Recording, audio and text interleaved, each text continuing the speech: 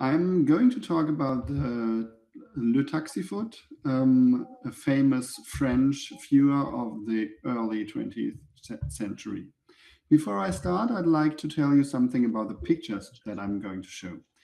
Um, if not otherwise stated, all pictures uh, show pieces of my personal collection, but I'm also thankful that Sébastien Lemanier from antiquephoto.com, I don't know if you know that site, um, provided me with some photos, as well as Thomas Asch, who is here today, and uh, Paul.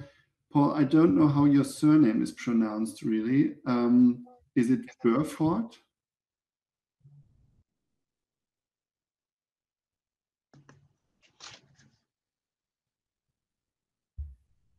Okay, yes, thank you. Um, so there are three different um, additional picture sources in my presentation. All right.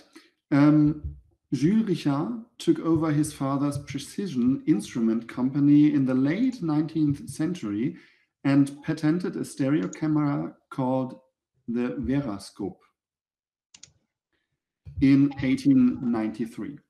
The name is derived from the antique goddess of truth, Veritas, and the Greek word skopos, which means watcher. The camera itself was also a high precision instrument. It was entirely made of metal to prevent humidity, uh, humidity and uh, temperature from affecting its operation. But most important, it used a new image format, 45 by 107, which was much smaller than the two common stereo formats of that time. And so was the camera too. In addition to handheld viewers, Richard also manufactured revolving stereoscope for glass slides in the new format. The revolving stereoscope had one large drawback. Changing the slides is extremely annoying and so you would only have access to a limited selection of your photos in the end. But in 1899, Richard and his technician Louis Collardot patented a new system that allowed the use of bakelite magazines containing 25 slides each. You can see that in the lower left of the presentation. The dimensions of that stereoscope were about the same as the common tabletop viewers, but instead of 50 views, it could hold up to 300 views in the drawers underneath the me mechanism. They simply called it stereoclasseur, which means stereo cabinet. And it was offered in the catalog in 1900 unspectacularly besides the various revolving stereoscope. But this would surely change soon after.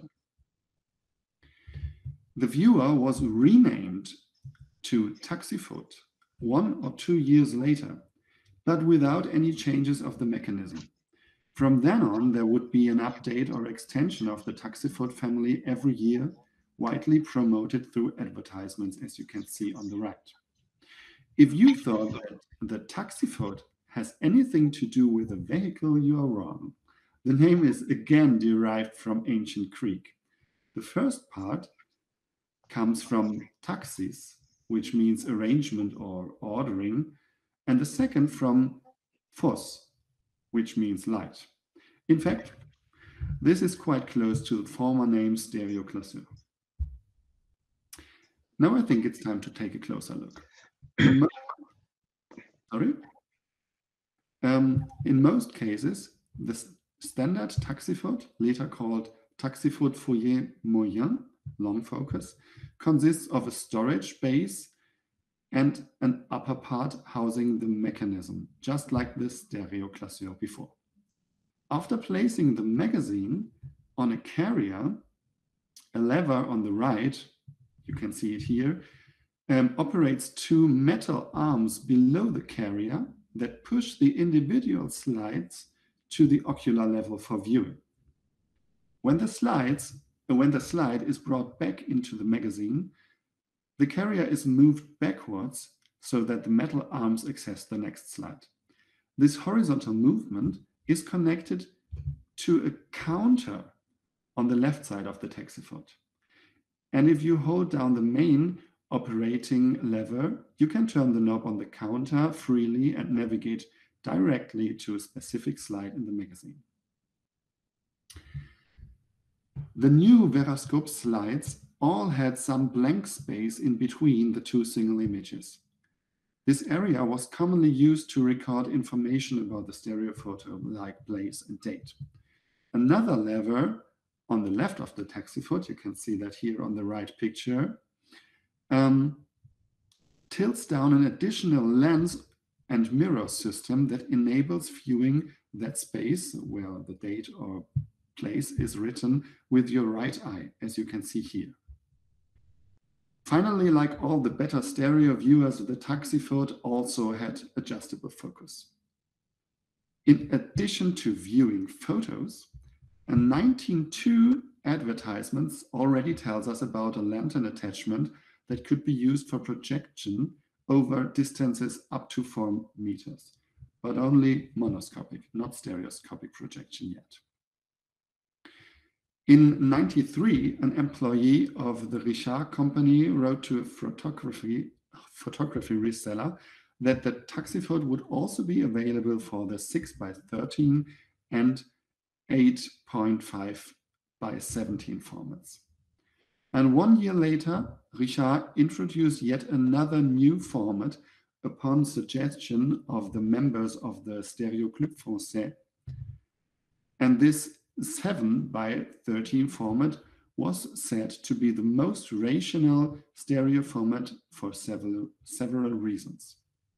These four formats listed here were continuously produced even though the storage space in the base varied.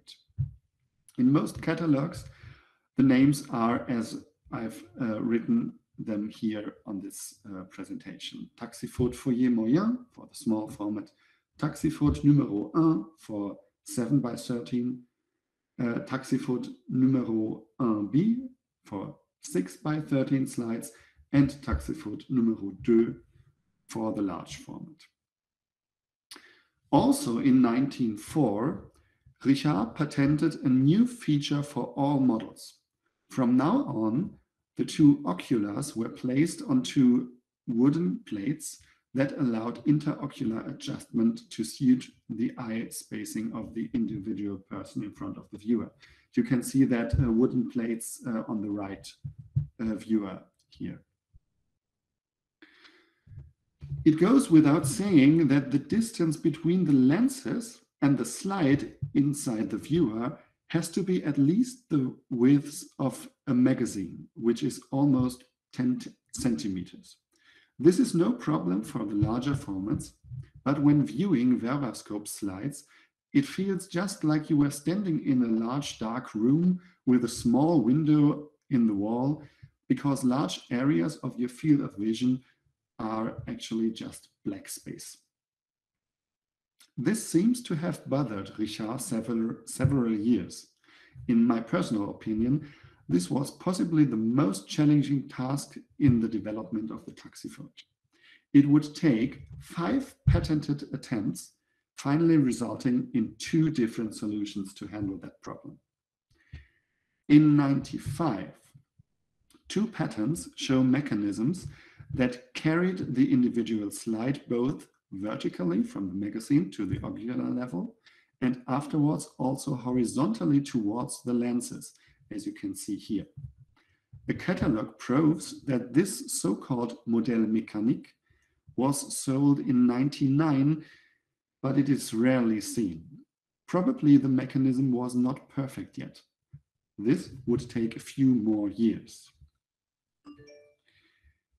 The more commonly used method was the so-called modèle optique, which took a completely different approach to the same problem.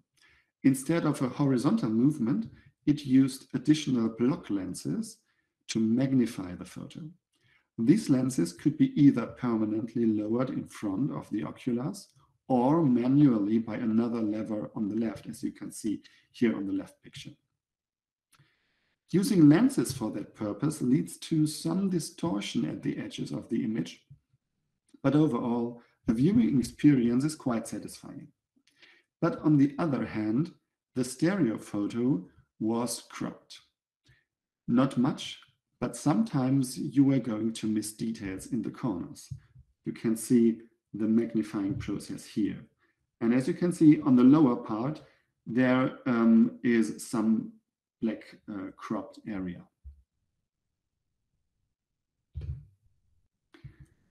Starting at 250 francs, the average price for a Taxiphote would be around 300 francs. In 98, Richard introduced a new version only for the Verascope format, so for the small format, at a price of only 148 uh, francs. The so-called Modèle Simplifié, simplified model, had a crank-operated mechanism instead of a lever, and it is indeed very comfortable to use. There was still a counter on the left with another extremely clever improvement. While you need to hold down the lever of the other Taxiphote models to freely navigate through the inserted magazine, now you just needed to push the knob before turning. A 6 by 13 version appeared in about 1926 and in 1931 uh, the wooden body was enlarged for a more comfortable viewing height, height and a storage base was added. The crank operating system was probably the key for the further development of the model mechanic. Meanwhile, an electric lamp was um, a, lamp attachment was patented in 1909 and the wooden ocular plates were replaced um, by adjustable eyepieces entirely made of metal, patented in 1911. Uh, so this is these eyepieces in wood or metal can help you to date your individual taxiphote if you have one. In 1911, there are two more patents on the Modèle Mécanique. It seems to me that this new mechanism was introduced not, uh, not in that year, but another two years later in 1930, 13, because the price then suddenly jumped, while the prices for the other models remained the same. And indeed, the higher price is worth it. The uh, mechanism is now driven by a crank, just like the Modèle Simplifié. One turn to lift the slide, seen here in the middle, and another turn to move it towards the oculars, seen on the right picture. No cropping of the images, no distortion. The viewing experience is fantastic. In my opinion, this is really the best Taxiphote ever produced, and I'm very happy to have one. You can see uh, the magnifying view again here on the lower right. Because of the uh, success of color photography achieved with autochrome slides mainly, many manufacturers like Gaumont, Plock or MD offered special magazines to handle autochrome slides in France. This was necessary because autochromes were developed as direct positives and there was no possibility for inverting the left and the right images, except by cutting the glass and switching the positions. Therefore, a second glass was typically added later for stabilization and protection also, because autochromes were extremely prone to humidity. So the autochrome slides finally were twice as thick as normal slides. This is the reason why different magazines were required. But Richard went a more sophisticated way. Instead of cutting the autochrome slides, he recommended turning the slides just upside down because this switches the left and the right images as well, and then attaching prisms on the oculars to invert the image upside down. These so-called retrousseurs became available in 1913 as well. And this leads to the last edition for the Taxiphote Modèle Mécanique a quick exchange me mechanism for the entire eyepiece assembly together with two additional sets in a high quality leather case. One set for autochrome lenses, as I showed before, and one set to change the long focus back to the short focus model. model. So for whatever reason that should be. So I'm on, there are a few more developments that I will skip due to the time, but um, I want to uh, talk about two other things, um, which are luxury versions and furniture. To arouse interest, there were also specially designed deluxe versions of the Taxiphote that were not always available according to catalogs. One year, one version was available, next year, another version. You can see three really beautiful ones here. And for those who had larger photo collections, there were storage cabinets, especially designed for the Taxiphote and produced by Richard as well. But you could also um, buy just the drawers and incorporate them into other pieces of furniture to suit your purpose. Maybe you already had a shelf and then you could just buy uh, original drawers for the magazines. So I'm at the end of my presentation. The Verascope and the Taxiphote are, I would say, two halves of an unbelievable stereo development effort that went on for 40 years, essentially without any general changes. The Taxiphote was exported to and patented in many countries, Switzerland, uh, Great Britain, in the US, and so on. All this serves as an example of how attractive stereoscopy must have been at that time, and also confirms the quality of the Taxiphotes as a technical device. We can only guess at the prestige of having a Taxiphote at that time at your home. But what would better illustrate the meaning of the Taxiphote to its owners than the autochrome stereo photo that Thomas Asch found in one of his devices. I think this is really, really a beautiful document of that time.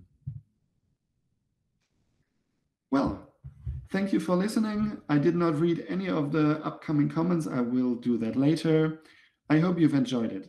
As usually, I will publish an article on Stereo site and it's probably worth looking at it again because there will be a few more details that I could not cover in that 15 minutes here.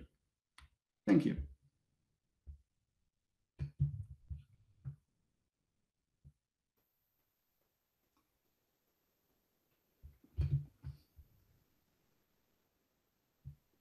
There's silent applause.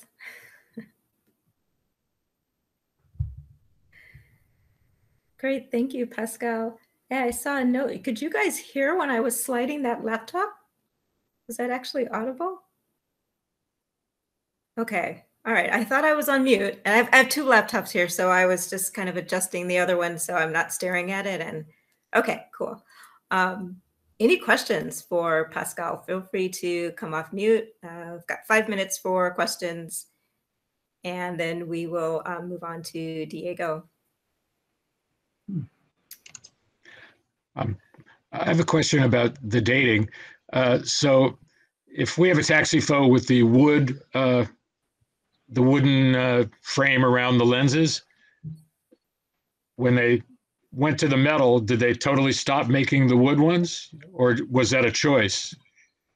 I think they, um, I suppose they totally stopped because the metal ones um, are much better to uh, operate. Ah, so um, having one with wood definitely would put it into a certain date period. Yeah, before okay. um, before 1911. Um, luckily, um, I have a Taxiphote with metal eyepieces that has a serial at around 8,000. And uh, Andre, um, who is uh, also here, has a one with a wooden um, ocular plates with a serial with a 7000. So we can assume that uh, the change of the serials would be around uh, seven or eight thousand. Well, I'll, I'll, I'll look at ours and I'll send you the serial numbers and to go with each one. Yeah. Are the serial numbers on the bottom plate inside, uh, under where the, the magazine goes? Yes, exactly. But um, it's difficult because there are actually no sources um, documenting the serial numbers and the years. No, but collectors compare numbers, you know, just for curiosity. So Well, we can start. that may help a bit. Pardon me? We can start a database. Exactly. well, yeah, it's uh, the to me the amazing thing about Jules Richard is the uh, length of time period and the uh, extreme quality of everything that they made, uh, up to their 35 millimeter Verascope F40, which was made, you know, in the ni- up through the ni- early 1950s. Um, do you know if uh, people in in cities and towns um, would know each other and bring over um, images to exchange with each other? Was there any kind of like sense of a, a group group ownership kind of thing? I don't know, but um, actually, it would have been possible at least because Richard also produced small handheld viewers. And so it would have been possible that you own a Verascope camera, but no large taxiphote. But probably the um, bakelite magazines were quite cheap. I think two francs, probably, and um, so you you could store your uh, your photos, watch them in your own handheld viewer. But if you went somewhere where a taxiphote was, you could easily bring your magazine with you. So might be possible, but I don't know. because in the late 60s and early 70s, uh, we would take our albums around to each other's houses and you'd spend hours just going over things. And I was wondering if that was part of um, part of a activity with people with these devices.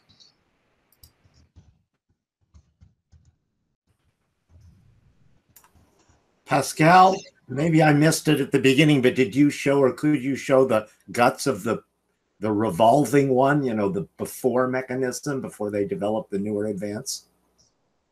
Sorry, say that again. Do you did you did you show or can you show a graphic uh, of the the revolving style mechanism, the one that they had before they developed the more complicated advance?